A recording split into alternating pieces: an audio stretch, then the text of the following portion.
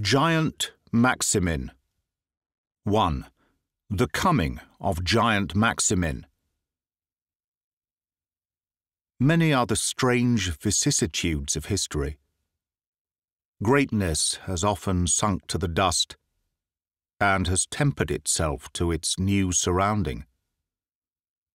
Smallness has risen aloft, has flourished for a time, and then has sunk once more. Rich monarchs have become poor monks. Brave conquerors have lost their manhood. Eunuchs and women have overthrown armies and kingdoms. Surely there is no situation which the mind of man could invent which has not taken shape and been played out upon the world stage. But of all the strange careers, and of all the wondrous happenings, stranger than Charles in his monastery, or Justin on his throne, there stands the case of giant Maximin, what he attained, and how he attained it. Let me tell the sober facts of history, tinged only by that colouring to which the more austere historians could not condescend. It is a record, as well as a story.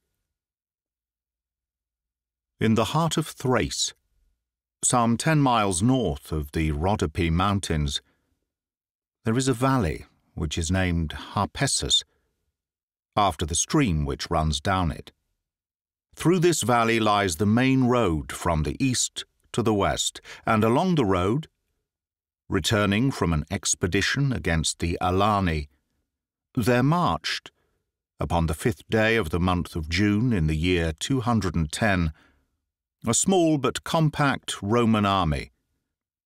It consisted of three legions the Jovian, the Cappadocian, and the men of Hercules. Ten turmi of Gallic cavalry led the van, whilst the rear was covered by a regiment of Batavian horse guards the immediate attendants of the Emperor Septimius Severus, who had conducted the campaign in person. The peasants who lined the low hills which fringed the valley looked with indifference upon the long files of dusty, heavily burdened infantry, but they broke into murmurs of delight at the gold-faced cuirasses and high brazen horsehair helmets of the guardsmen applauding their stalwart figures, their martial bearing, and the stately black chargers which they rode. A soldier might know that it was the little weary men with their short swords, their heavy pikes over their shoulders, and their square shields slung upon their backs, who were the real terror of the enemies of the empire. But to the eyes of the wondering Thracians, it was this troop of glittering Apollos who bore Rome's victory upon their banners and upheld the throne of the purple-togaed prince who rode before them. Among the scattered groups of peasants who looked on from a respectful distance at this military pageant, there were two men who attracted much attention from those who stood immediately around them. The one was commonplace enough a little grey-headed man, with uncouth dress and a frame which was bent and warped by a long life of arduous toil, goat driving and wood chopping, among the mountains. It was the appearance of his youthful companion which had drawn the amazed observation of the bystanders. In stature, he was such a giant as is seen but once or twice in each generation of mankind. Eight feet and two inches was his measure from his sandalled sole to the topmost curls of his tangled hair. Yet for all his mighty stature, there was nothing heavy or clumsy in the man. His huge shoulders bore no redundant flesh, and his figure was straight and hard and supple as a young pine tree. A frayed suit of brown leather clung close to his giant body, and a cloak of undressed sheepskin was slung from his shoulder. His bold blue eyes, shock of yellow hair and fair skin, showed that he was of Gothic or Northern blood, and the amazed expression upon his broad, frank face as he stared at the passing troops told of a simple and uneventful life in some back valley of the Macedonian mountains. I fear your mother was right when she advised that we keep you at home, said the old man anxiously. Tree cutting and wood carrying will seem but dull work after such a sight as this.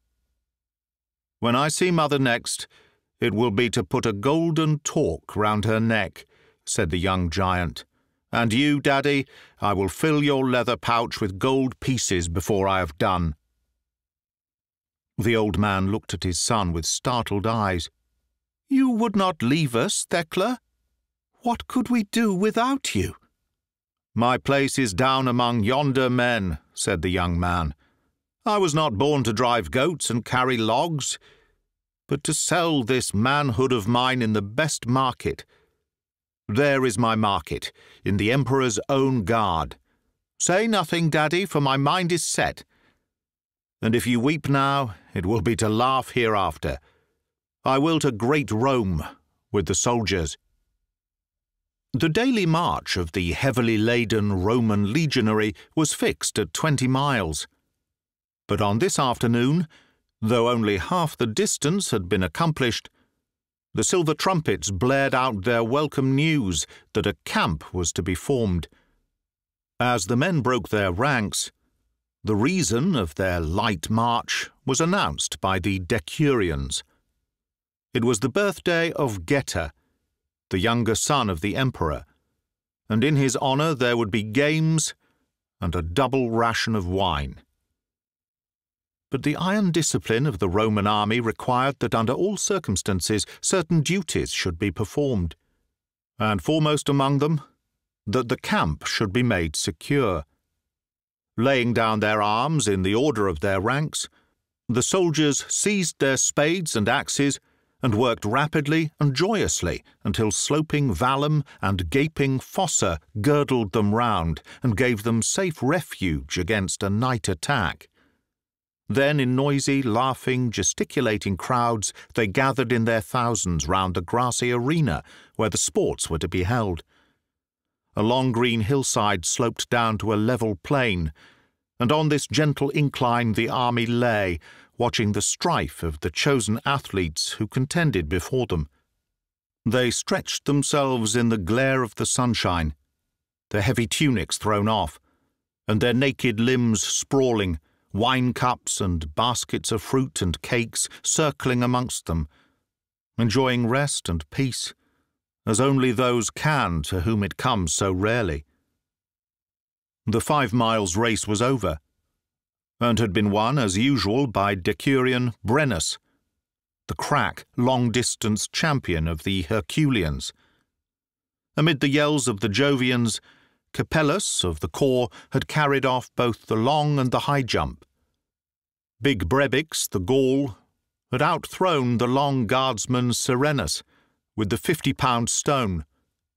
Now, as the sun sank towards the western ridge and turned the Harpessus to a riband of gold, they had come to the final of the wrestling, where the pliant Greek, whose name is lost in the nickname of Python, was tried out against the bull-necked lictor of the military police, a hairy Hercules, whose heavy hand had, in the way of duty, oppressed many of the spectators. As the two men, stripped save for their loincloths, approached the wrestling ring, cheers and counter-cheers burst from their adherents, some favouring the lictor for his Roman blood, some the Greek from their own private grudge. And then, of a sudden, the cheering died. Heads were turned towards the slope away from the arena. Men stood up and peered and pointed, until finally, in a strange hush, the whole great assembly had forgotten the athletes and were watching a single man walking swiftly towards them down the green curve of the hill This huge solitary figure, with the oaken club in his hand, the shaggy fleece flapping from his great shoulders, and the setting sun gleaming upon a halo of golden hair, might have been the tutelary god of the fierce and barren mountains from which he had issued. Even the Emperor rose from his chair and gazed with open-eyed amazement at the extraordinary being who approached them.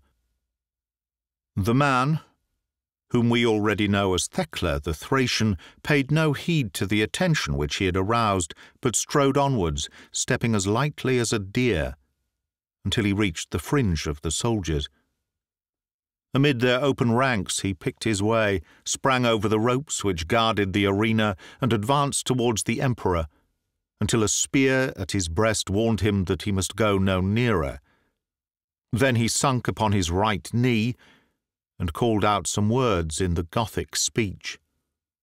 Great Jupiter, who ever saw such a body of a man? cried the Emperor. What says he? What is amiss with the fellow? Whence comes he? And what is his name? An interpreter translated the barbarian's answer. He says, Great Caesar, that he is of good blood, and sprung by a Gothic father of a woman of the Alani. He says that his name is Thecla, and that he would fain carry a sword in Caesar's service. The emperor smiled. Some post could surely be found for such a man, were it but as a janitor at the Palatine Palace, said he to one of the prefects. I would fain see him walk even as he is through the forum. He would turn the heads of half the women in Rome. Talk to him, Crassus. You know his speech. The Roman officer turned to the giant. Caesar says that you are to come with him, and he will make you the servant at his door. The barbarian rose, and his fair cheeks flushed with resentment.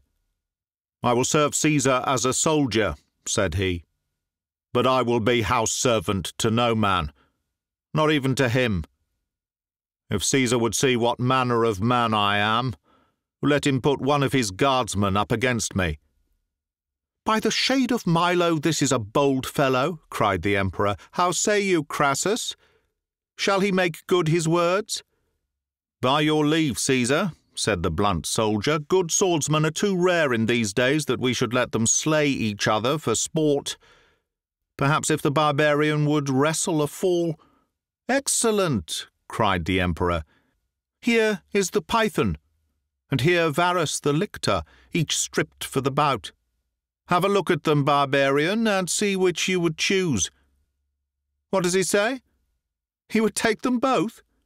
Nay, then, he is either the king of wrestlers or the king of boasters, and we shall soon see which. Let him have his way. And he has himself to thank if he comes out with a broken neck. There was some laughter when the peasant tossed his sheepskin mantle to the ground and, without troubling to remove his leathern tunic, advanced towards the two wrestlers but it became uproarious when, with a quick spring, he seized the Greek under one arm and the Roman under the other, holding them as in a vice.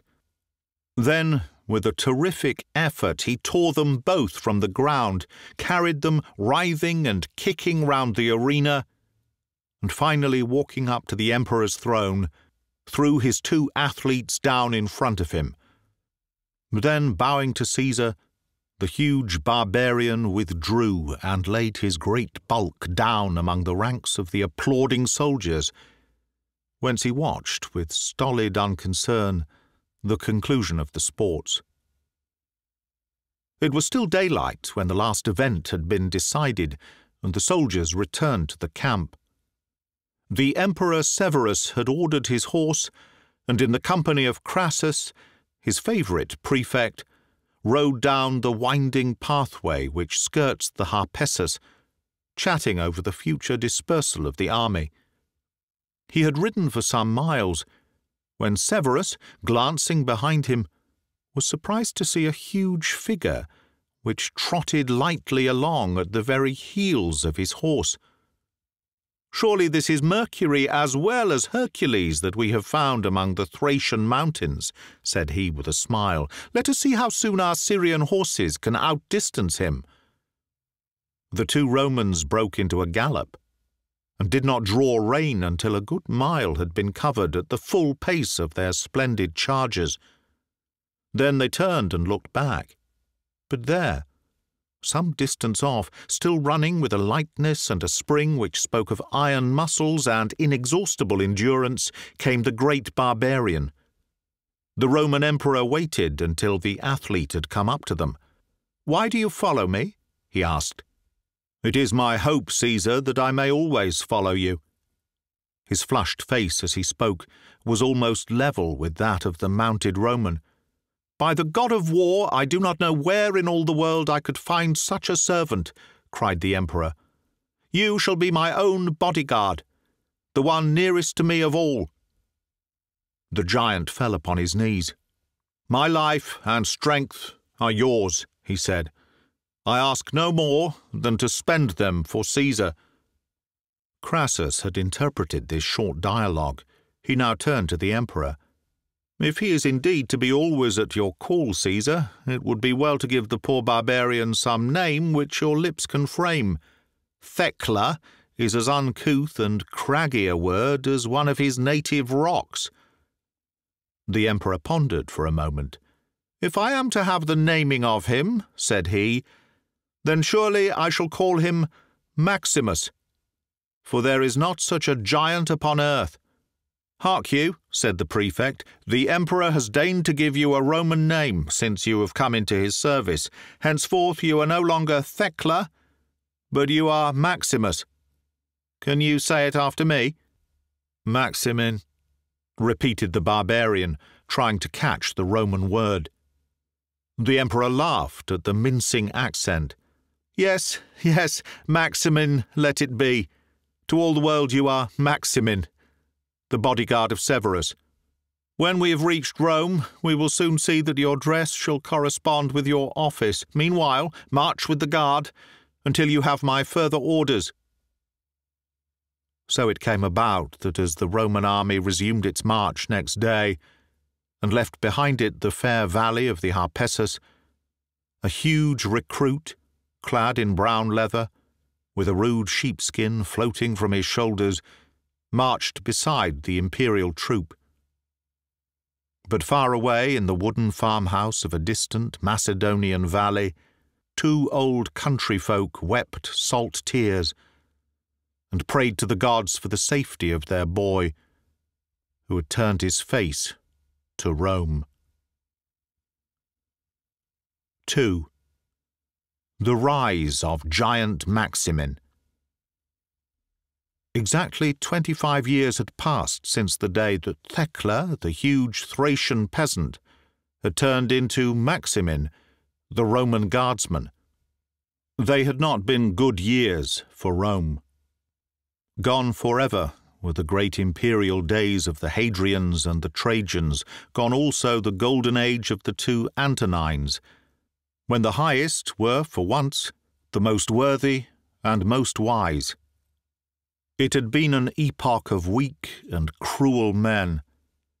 Severus, the swarthy African, a stark, grim man, had died in faraway York after fighting all the winter with the Caledonian Highlanders, a race who have ever since worn the martial garb of the Romans. His son, known only by his slighting nickname of Caracalla, had reigned during six years of insane lust and cruelty, before the knife of an angry soldier avenged the dignity of the Roman name. The nonentity Macrinus had filled the dangerous throne for a single year before he also met a bloody end, and made room for the most grotesque of all monarchs, the unspeakable Heliogabalus, with his foul mind and his painted face.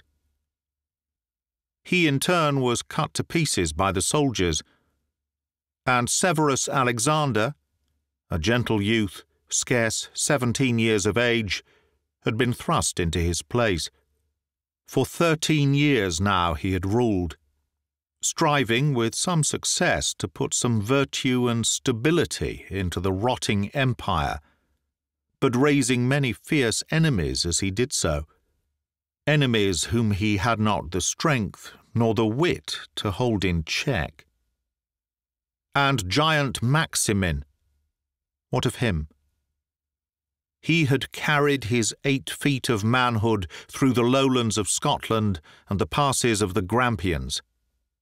He had seen Severus pass away, and had soldiered with his son. He had fought in Armenia, in Dacia, and in Germany.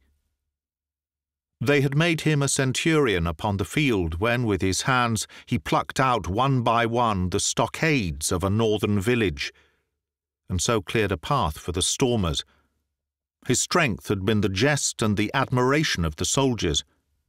Legends about him had spread through the army and were the common gossip round the campfires of his duel with the German axeman on the island of the Rhine, and of the blow with his fist that broke the leg of a Scythian's horse.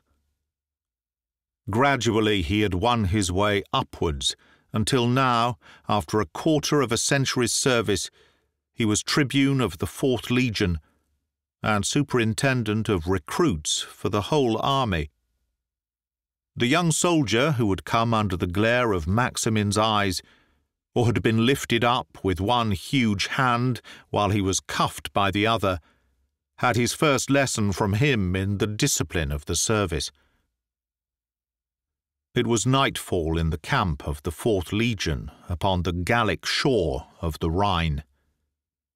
Across the moonlit water, amid the thick forests which stretched away to the dim horizon, lay the wild, untamed German tribes.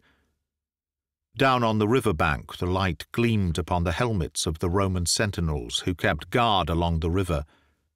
Far away, a red point rose and fell in the darkness a watchfire of the enemy upon the further shore. Outside his tent, beside some smouldering logs, giant Maximin was seated, a dozen of his officers around him. He had changed much since the day when we first met him in the valley of the Harpessus. His huge frame was as erect as ever, and there was no sign of diminution of his strength. But he had aged none the less the yellow tangle of his hair was gone, worn down by the ever pressing helmet. The fresh young face was drawn and hardened, with austere lines wrought by trouble and privation. The nose was more hawk like, the eyes more cunning, the expression more cynical and more sinister. In his youth, a child would have run to his arms now it would shrink screaming from his gaze. That was what twenty-five years with the eagles had done for Thecla the Thracian peasant. He was listening now, for he was a man of few words, to the chatter of his centurions. One of them, Balbus the Sicilian, had been to the main camp at Mainz, only four miles away, and had seen the Emperor Alexander arrive that very day from Rome. The rest were eager at the news, for it was a time of unrest, and the rumour of great changes was in the air. How many had he with him? asked Labienus, a black-browed veteran from the south of Gaul. I'll wager a month's pay that he was not so trustful as to come alone among his faithful legions. He had no great force, replied Balbus, ten or twelve cohorts of the Praetorians, and a handful of horse. Then indeed his head is in the lion's mouth, cried Sulpicius, a hot-headed youth from the African Pentapolis. How was he received? Coldly enough. There was scarce a shout as he came down the line. They are ripe for mischief, said Labienus. And who can wonder? when it is we soldiers who uphold the empire upon our spears, while the lazy citizens at Rome reap all of our sowing. Why cannot a soldier have what the soldier gains? So long as they throw us our denarius a day, they think that they have done with us. Ay, croaked a grumbling old greybeard, our limbs, our blood, our lives. What do they care, so long as the barbarians are held off and they are left in peace to their feastings and their circus? Free bread, free wine, free games, everything for the loafer at Rome, for us the frontier guard, and a soldier's fare. Maximin gave a deep laugh. Old Plancus talks like that, said he. But we know that for all the world he would not change his steel plate for a citizen's gown. You've earned the kennel, old hound, if you wish it. Go and gnaw your bone, and growl in peace. Nay, I'm too old for change. I will follow the eagle till I die, and yet I had rather die in serving a soldier master than a long gowned Syrian who comes of a stock where the women are men and the men are women. There was a laugh from the circle of soldiers, for sedition and mutiny were rife in the camp, and even the old centurion's outbreak could not draw a protest. Maximin raised his great mastiff head and looked at Balbus. Was any name in the mouths of the soldiers? He asked in a meaning voice. There was a hush for the answer. The sigh of the wind among the pines and the low lapping of the river swelled out louder in the silence. Balbus looked hard at his commander. Two names were whispered from rank to rank, said he. One was Ascanius Pollio, the general. The other was the fiery Sulpicius sprang to his feet, waving a glowing brand above his head. Maximinus! he yelled. Imperator Maximinus Augustus! Who could tell how it came about? No one had thought of it an hour before, and now it sprang in an instant to full accomplishment. The shout of the frenzied young African had scarcely rung through the darkness when from the tents, from the watchfires, from the sentries, the answer came pealing back Ave Maximinus! Ave Maximinus Augustus! From all sides men came rushing, half-clad, wild-eyed, their eyes staring, their mouths agape, flaming wisps of straw or flaring torches above their heads. The giant was caught up by scores of hands, and sat enthroned upon the bull necks of the legionaries. To the camp! they yelled. To the camp! Hail! Hail to the soldier Caesar! That same night, Severus Alexander, the young Syrian emperor, walked outside his Praetorian camp, accompanied by his friend Licinius Probus, the captain of the guard. They were talking gravely of the gloomy faces and seditious bearing of the soldiers. A great foreboding of evil weighed heavily upon the Emperor's heart, and it was reflected upon the stern, bearded face of his companion. I like it not, said he.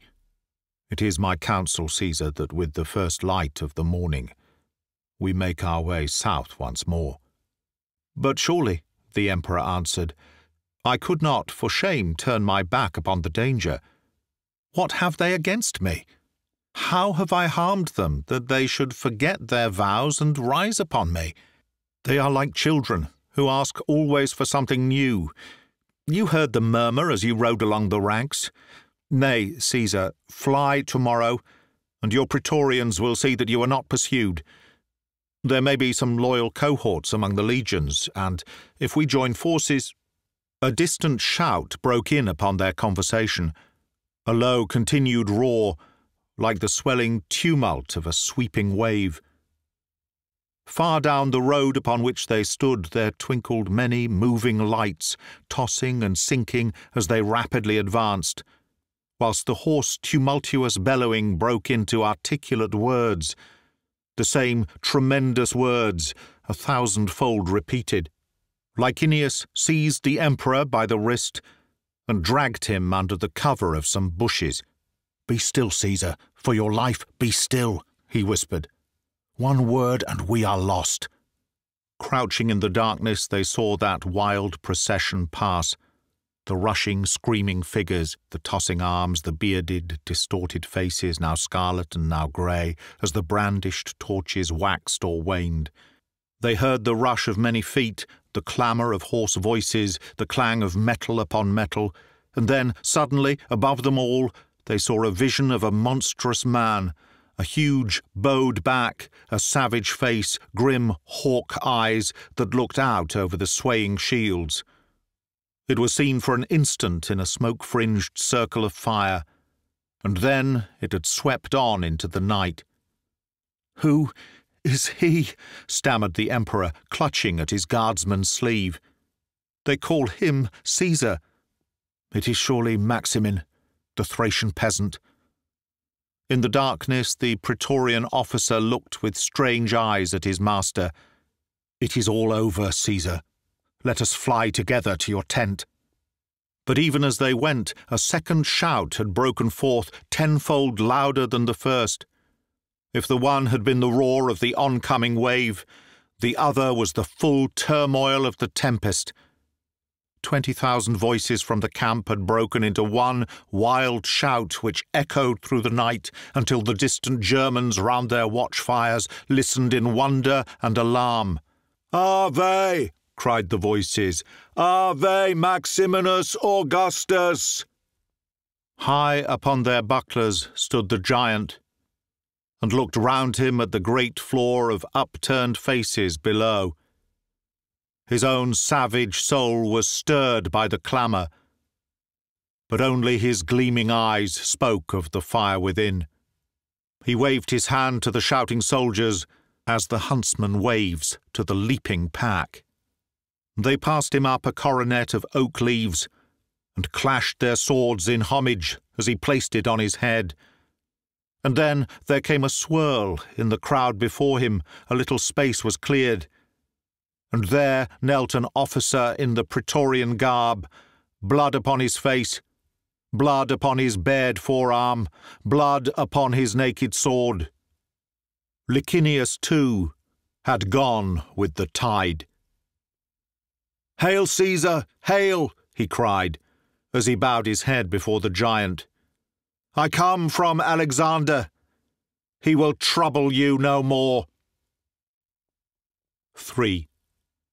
The Fall of Giant Maximin For three years the soldier emperor had been upon the throne. His palace had been his tent, and his people had been the legionaries.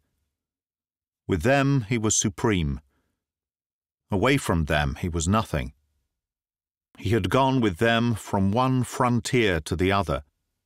He had fought against Dacians, Sarmatians, and once again against the Germans. But Rome knew nothing of him, and all her turbulence rose against a master who cared so little for her or her opinion that he never deigned to set foot within her walls. There were cabals and conspiracies against the absent Caesar. Then his heavy hand fell upon them, and they were cuffed, even as the young soldiers had been who passed under his discipline.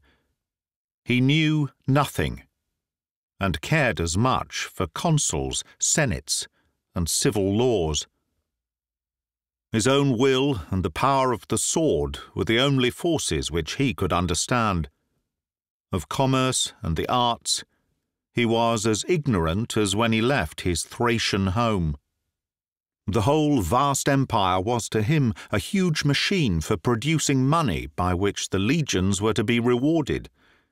Should he fail to get that money, his fellow soldiers would bear him a grudge to watch their interests. They had raised him upon their shields that night. If city funds had to be plundered or temples desecrated, still the money must be got. Such was the point of view of giant Maximin. But there came resistance and all the fierce energy of the man, all the hardness which had given him the leadership of hard men, sprang forth to quell it. From his youth he had lived amidst slaughter. Life and death were cheap things to him. He struck savagely at all who stood up to him, and when they hit back, he struck more savagely still. His giant shadow lay black across the empire from Britain to Syria.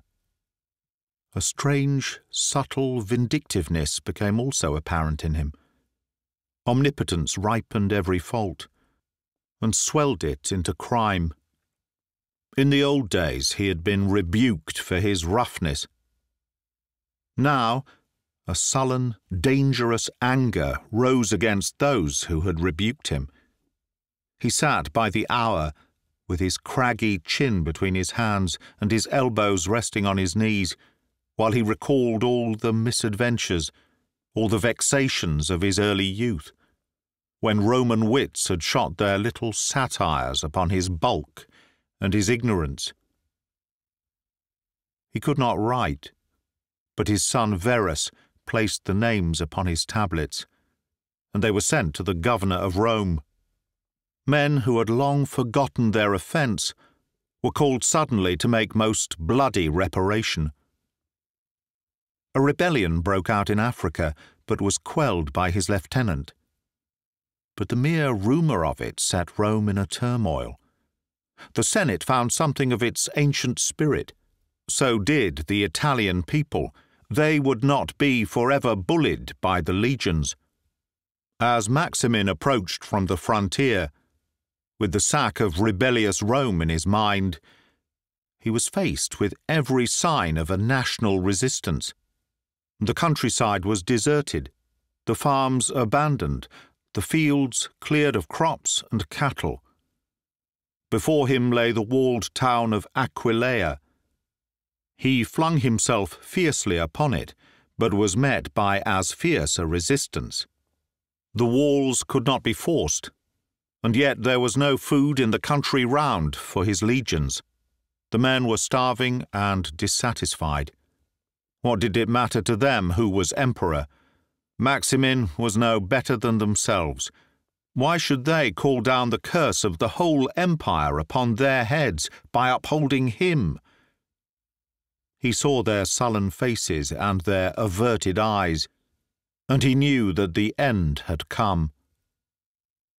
That night he sat with his son Verus in his tent, and he spoke softly and gently, as the youth had never heard him speak before.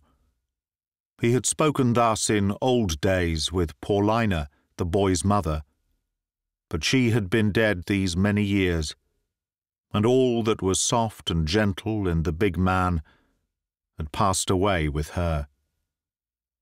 Now her spirit seemed very near him, and his own was tempered by its presence. I would have you go back to the Thracian mountains, he said.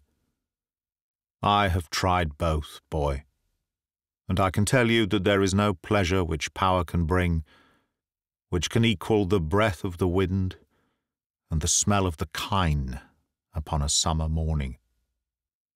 Against you they have no quarrel. Why should they mishandle you?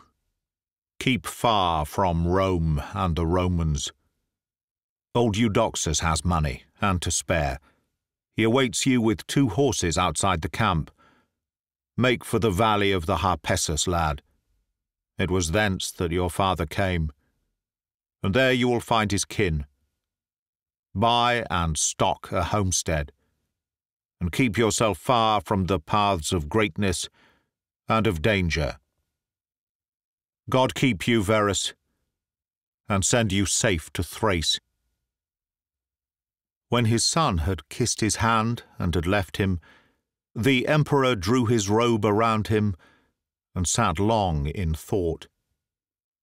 In his slow brain he revolved the past, his early peaceful days, his years with Severus, his memories of Britain, his long campaigns, his strivings and battlings, all leading to that mad night by the Rhine. His fellow soldiers had loved him then, and now he had read death in their eyes. How had he failed them? Others he might have wronged, but they at least had no complaint against him. If he had his time again, he would think less of them and more of his people. He would try to win love instead of fear. He would live for peace and not for war. If he had his time again.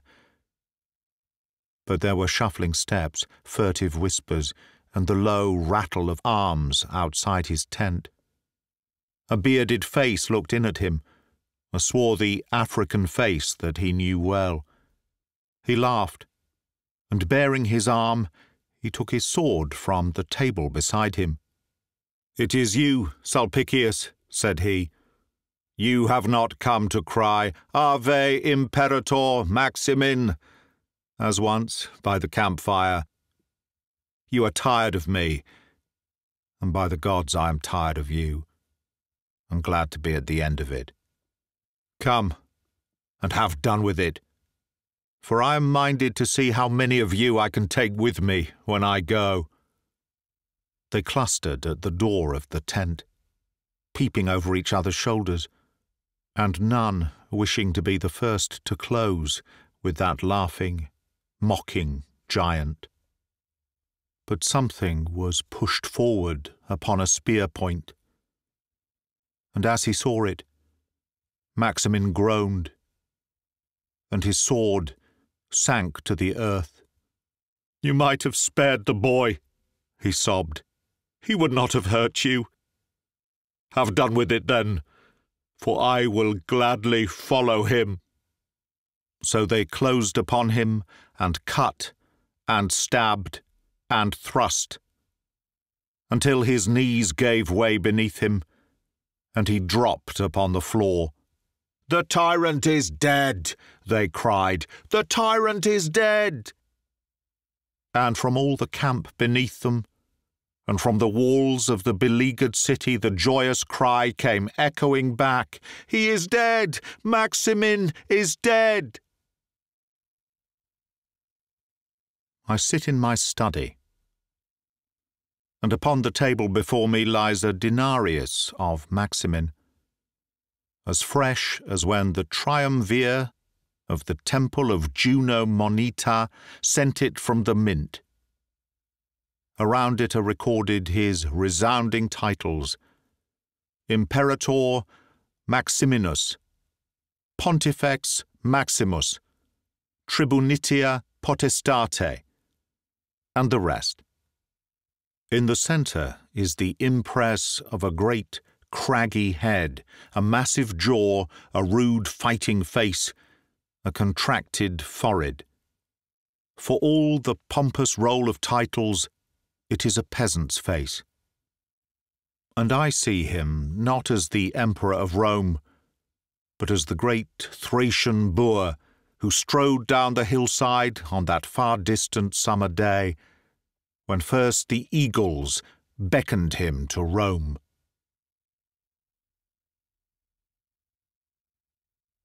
That is the end of Giant Maximin by Arthur Conan Doyle. Read by Greg Wagland for Magpie Audio 2021.